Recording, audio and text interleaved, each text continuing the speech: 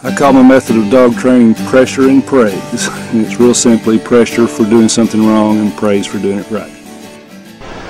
Praise, it's real important this, in this function. When the dog is in the act of doing something good, you want to start praising.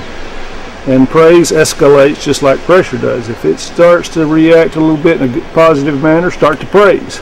And if it starts doing it better, increase your praise. Let it know you're happy. You want it to be a happy, confident dog.